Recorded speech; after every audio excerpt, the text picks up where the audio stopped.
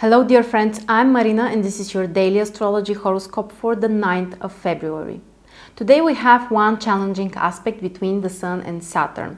There is a semi-square between these two planets, which can possibly bring some challenges for us. First of all, Saturn is very strong. Saturn is in Capricorn, it will stay there for a very long time.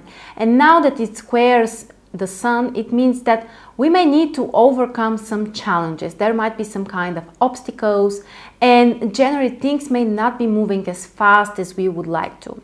So it's really important to learn to be patient, especially today. Don't rush things, don't hurry too much.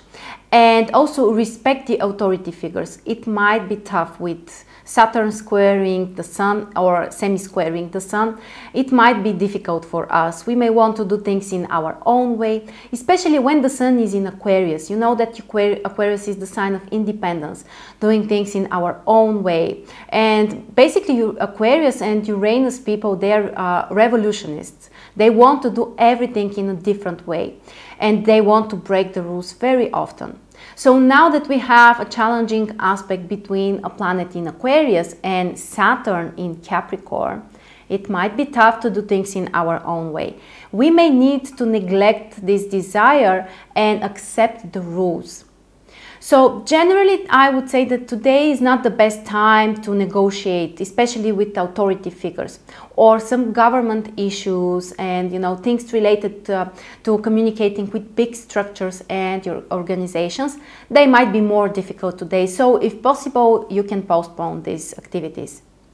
The good news is that the transit moon will be in Sagittarius. And Sagittarius is the sign which can bring optimism to Capricorn and Saturn energy.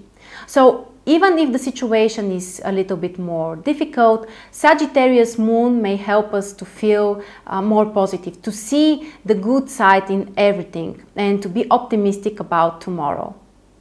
So that's the most important for today. Thank you so much for joining me and I'll see you tomorrow.